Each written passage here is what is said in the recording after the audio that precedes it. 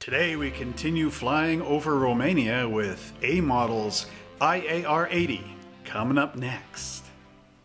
What's in the box? What's in the box? What's in this box? What's in the box? Hey, welcome back to another great model airplane unboxing right here on Monster Hobbies channel. And if you are a returning subscriber, thank you very much for supporting us out here on YouTube land.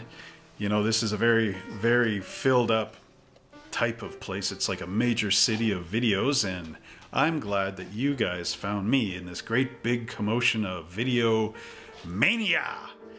but anyway, if you like watching these unboxing videos, please subscribe down below if you haven't already and click that notification bell because when you click the notification bell and I release a video, it goes right electronically to your notification place and tells you, hey, Trev made another video for What's in the Box. So come on down and check it out. Now, without further ado, we are going to open up the A model IAR-80, the Romanian fighter. And this one here was actually flown by Ion Miliu back in the 40s. So without further ado, uh, let's go down and see what's in the box. But I want to tell you something. I'm going to leave a little space at the top of the video as I'm opening this up, and it's going to be filled with new facts all about these aircraft. So without further ado, let's go down and see what's in the box. Now we take again to the friendly skies as we see our IAR-80 kit as flown by pilot Jan Miliu uh, from A model. So to begin with, we can look at this nice artwork. I really like the artwork on these boxes, they're nice. And our box, of course, has in English and in Russian. And nothing on the back. yes, again, nice one from A Model, which is a Russian-based company. Now, as we open up the box here, we note one thing that's really nice. Everything is in a Ziploc bag. So I don't have to chop anything open, which is great. But let's just move the box bottom out of the way here and open up the Ziploc. Nice and resealable.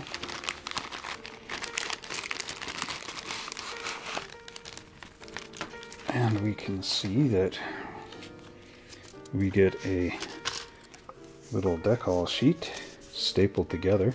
Huh, interesting. We get a ton of plastic parts, including clear. And we get our instructions. So I hope you like this review. No, I'm just kidding. Okay, we are going to start with our instruction sheet. Make sure the camera's all the way back because these are big. So we've got a black and white instruction sheet again.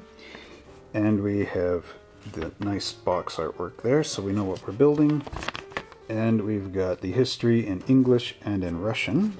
Then they have some symbols that they're using to help you build your model, as well as the paint colors, and they're using Humbrol colors for the paint fallout. Then we have a parts description, and they have these blanked off areas here and here and there and there to show you what parts you are not using in the kit so that you can decipher you know, from this massive amount of parts, what plane you're building. So A model has done a cost-cutting uh, thing. What they've done is they've made it so that all their IAR-80 kits are these same plastic molds. It's just a matter of markings in the decal sheet. So here we have our um, inside the cockpit this is where the pilot would be sitting, so there's his little platform. It's got your pedals and the seat back and the yoke. And then here it shows the interior and it's got the ribs in there. There's one thing I always need to know is when you do your interior and you glue it in, this is all painted, let's assume, you glue your model together and then you've got the seam line and you clean up the seam line and you paint your plane.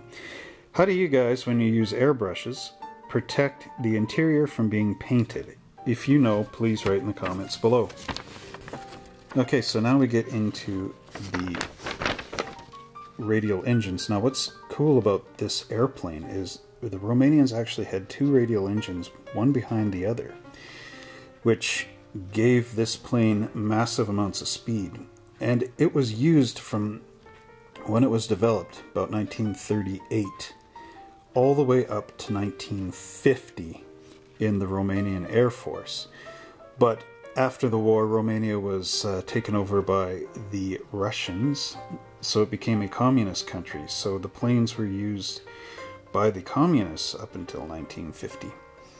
Okay, so here it shows the airplane going together, and it's got these little teeny bits here that go on the outside of the cowling. Those are exhaust pipes for your radial engine. And then here we see our wheels, our wings, and everything going together. And they've got this separate piece here, which is interesting. That's for your landing gear to go in, molded separately. And then, of course, we've got the upside down of the plane, showing where all the wheels struts go in.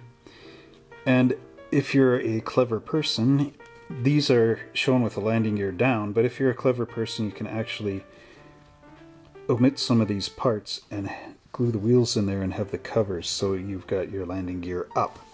If you've done this before, please let us know in the comments down below. And finally, the last bit of the instructions is, of course, the paint palette and decal location, again using the Humbrol paints over here.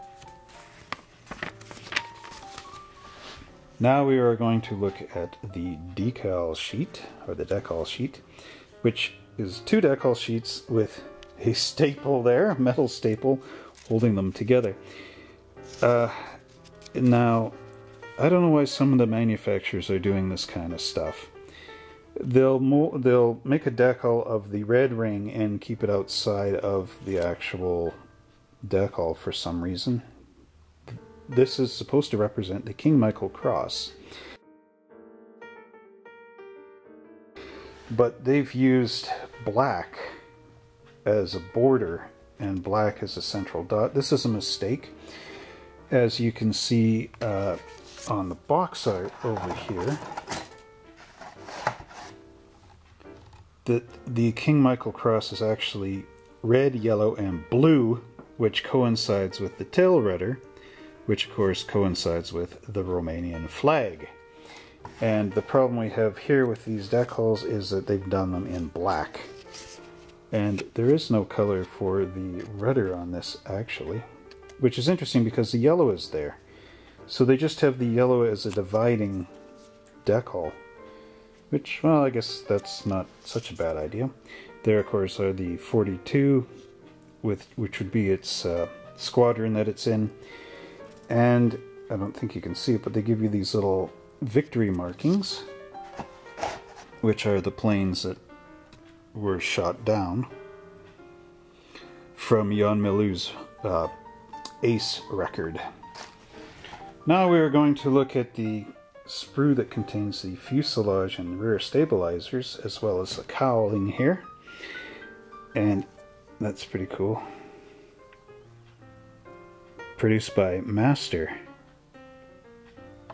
so that's a neat little uh, emblem there. Okay, anyway, manufacturer's mark. So we've got quite a, a bit of nice detail, a little bit soft, but it's got all the louvers on your behind your cowlings and some rudder detail, as well as the instrument panels. There's some nice detail on the floorboards there, as well as the cowls. So quite cool. Now we go get into our next sprue here, which has your payload, the bombs that these planes carried. Now that was a derivative, I think it was the IAR 81B that had the bombs, so some of these parts you will not be using in this kit. But the detail is still relatively nice. There's the wheels there. They also go and clip into these struts. Now notice a little little bit of a half pin here. you could actually pop these wheels in, and then the wheels should be able to uh, spin on those axles. Uh, maybe, I don't know. All depends how you set it up, of course. But nice detail on that parts tree. Then we get into this here. And we have the nose cap for your cowl, as well as your engine, engines, front and the back one. And again, some soft detail on the cylinder heads for the engine there. We've got a propeller and we've got two variations of the wheel um, housings. So you'll have to look and see specifically which one it is. This one seems to be a bit taller than this one. It's actually defined like there's there's a gap there, so you've got an A and a B, and this one is almost like molded as a one piece. So depending on which variation you're building, make sure you, you get the right one in there. Then you got your nose cone, and that little center divot in the middle of the nose cone is a centrally mounted machine gun, which was also on the Messerschmitts in case you're wondering. And we have two more sprues left in the gray color. It is the wing bottom, or nope, wing top. There's where your wheels would go in. And there's the wing bottom there. Now it's interesting when you lay these over top of one another how they're glued together. You've actually got the trailing edge here of your aileron molded into the bottom of the wing, which is rather unique. Most of these are have this seam as an A and a B. Same with the wing tips. They're molded in. But it's kind of nice because when you put this together like that, when it's glued down, the seam line is on the trailing edges inside, so you don't really see them like you do when you get the, the two parts squishing down perfectly. You know, uh, you know what I'm trying to say. so yeah, there's both our wings. And again, some nice little, although a bit soft, details in there. And finally, for plastic components, we have our canopy. And this one actually is very, very clear. And you'll need to, of course, paint the little uh, braces in the front. But that is basically it.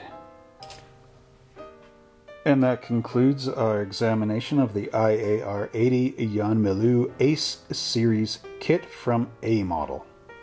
Well, thank you so much for watching this video of the IAR 80 by A Model, and I really hope you learned a lot about Romanian air fighter combat history, because it's very important.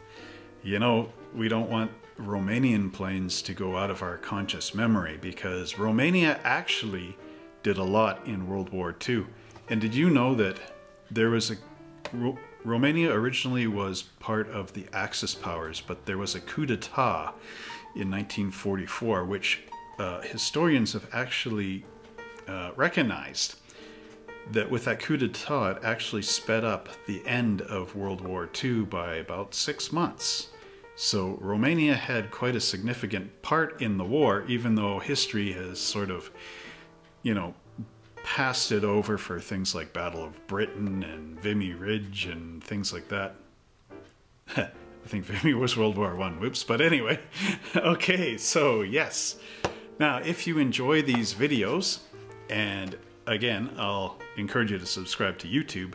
But if you want to sort of leave me a little tip, you know, to say thanks for making these videos and spending all your time opening up models that, hey, I would have had to buy at the hobby shop for who knows how much or import because A model's out of Russia, I believe. And you know, maybe you don't have the money, or maybe you're curious, you know, before you go and buy this and put the money down to see what's in the box.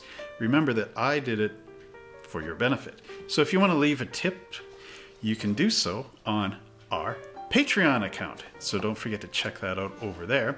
I'm going to leave the link below. And if you become a Patreon, you actually get some benefits from Monster Hobbies. Number one, depending on, there's tier levels. starting at a dollar and ending at 20, depending on in those tier levels, there's five, you can get something cool like your names in the credits, like right here. And those are the names of some of my Patreons. And not only can you get the name in the credits, depending on what tier, you can get stickers, you can get special Monster Hobbies pencil, you can get a t shirt, and many other cool things. So please go over, check it out in the link below, and please become one of our Patreons. You don't have to. You can, you know, leave a little tip. Uh, you can do it on a monthly basis, or you could just do it at one time. There's all kinds of options over there, but any support is welcomed and appreciated. So thank you very much. Now, if you want to see some other cool unboxing videos, please check them out here, here, here, and here. And don't forget to like and subscribe and the notification button and all that stuff down here. And until next time, happy flying!